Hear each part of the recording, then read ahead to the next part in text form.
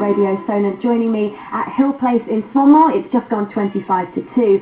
Now, your sprinkling of celebrity stardust comes in the shape of David Walliams this afternoon. You'll know him as one half of the very funny, very cheeky comedy duo of Little Britain and Come Fly With Me. But did you also know that he's an author, a very celebrated author? In fact, he's an award-winning author, and his first book, Mr. Stink, has been made into a stage show with fun puppetry and even a scratch and sniff card for every member of the audience. Who could ask for more than that? I caught up with David a little bit earlier on. I told him he was talking to BBC Radio Solent across Hampshire, Dorset and the Isle of Wight, and I asked him if he's coming to the festival. The Isle of Wight Festival? No, I'd love to go. Who's playing this year? Oh, Kings of Leon. Foo Fighters. It's going to be absolutely huge. Wow. I swum to the Isle of Wight. Right.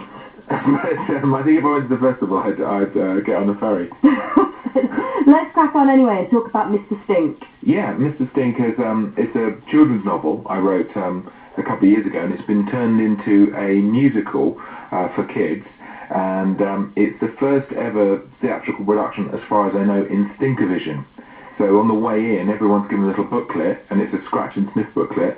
And um, at certain times in the show, you're asked to uh, to scratch an area and, and smell things. Sometimes it could be a burp or it could be sweets. And I went to the opening in, in Leicester a couple of weeks ago, and it was amazing to hear all the kids reacting to the smell, so it was hilarious. How important is it that it is suitably disgusting enough for young people? Well, I think, you know, when you're a kid, there's certain things you find funny, and I remember asking kids, you know, which bits of my books they liked, and sometimes the answer was, I like the bit where the boy sneezed on the other boy. Yeah. you think, oh, okay. I mean, it can't all be that, but I do know that, uh, you know, kids love that, that sort of humour, so, um, and I do too, so uh, I love to include it in my, my children's books. I was going to ask you, do you think you ever really grow up from the things that make you laugh when you're young? I hope not, because um, you know it, it shouldn't be too considered laughter. Mm. No, when you laugh, it's spontaneous, and I think that uh, that's why you know probably. Do you remember seeing a picture of Prince Philip on the um, balcony of Buckingham Palace? Yeah. And he was clearly um, breaking wind, Right. and he was laughing, and the guy's nearly ninety, and he still thinks that breaking wind is funny.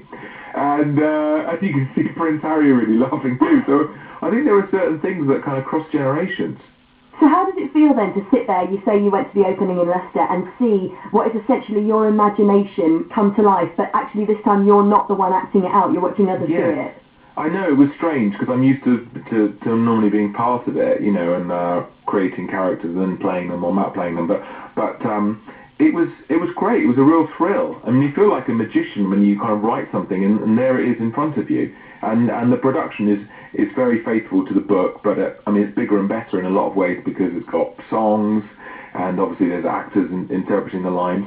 I, I was I was really thrilled, and I feel a bit weird when I'm actually sort of laughing or or um, getting a bit teary-eyed at some of the emotional scenes because I think, well, hang on, I, I wrote this, you know, surely it's a bit indulgent, but I just really was amused by it and uh, and uh, really moved by it. You've done so much since Little Britain first came onto the screens, and you've gone on to prove yourself in so many other areas that you you know there's many strings to the bow. But do, do you find that you you have to consistently work at shifting people's perception to say, oh, I don't just do this, but I also do that? Um, I don't kind of try and contrive it too much. I just try and do the things I enjoy doing, and I've really loved uh, writing the children's books. The new one, Billionaire Boy, is just out in paperback, and and and so I didn't really do it to change people's perceptions. I just did it because I, I wanted to do it. But I do realise that maybe if you want a long career, um, it's probably best not to just keep doing the same thing over and over again because there's a danger people get bored. And I always admire people who have like a second career, like Michael Palin,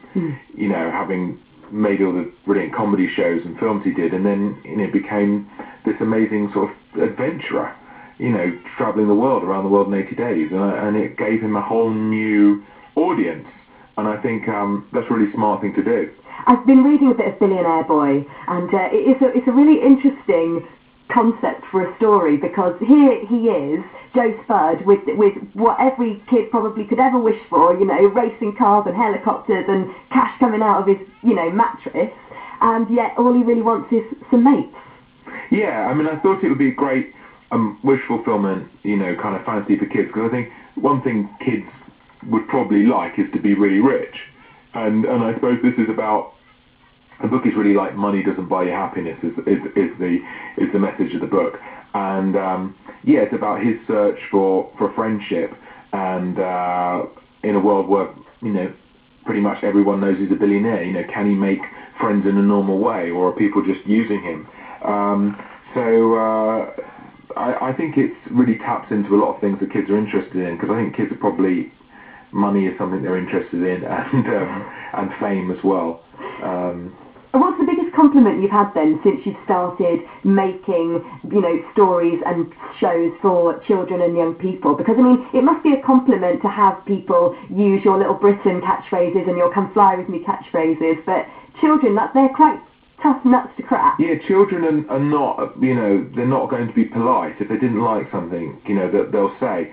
The best, the best thing is, I mean, you know, I was in the supermarket the other day and a lady came up to me and said, "Thank you so much for for your books." I couldn't get my son to read um, anything, and then, uh, but you know, your name on the book, and he read it, really enjoyed it, and now he's reading books. I thought, so it's an amazing responsibility, really, which is you're you're writing the first book that some child um, is going to read. And uh, and there are kids now who write to me who've no idea I'm on TV. They just completely accept me as a children's author. So uh, you know, it's a real thrill to, to be doing this too. And the lovely thing about books is they're they're kind of around forever. And, You know, TV shows are kind of on and then you know they're off and people tend to forget about them. But but you know there are kids now reading a book that I might have written three years ago, which is a thrill. And obviously kids are still reading Roald Dahl books that some of them were written 40 years ago. Do you know, as an adult, I would still pick up a Roald Dahl book and read it again. It's just Yeah, I read know, I read uh, a lot of them again recently, and yeah, I was completely mesmerised by them all over again. And it, it was a sort of dangerous thing to do in a way because they're so good Yeah. that it almost puts me off because I think, oh well, it's never going to be as good as one of his books. but it's quite inspiring too because I think he gets an amazing tone. Um, with uh, with his writing, you know, he he talks about quite dangerous things like uh, George's marvelous medicine is about a kid who wants to kill his grandma by poisoning her. mm. But somehow, Roald Dahl can tell it in a certain way that you don't feel offended by that, which is a, a really a really great uh, skill he has. So how's married life treating you then?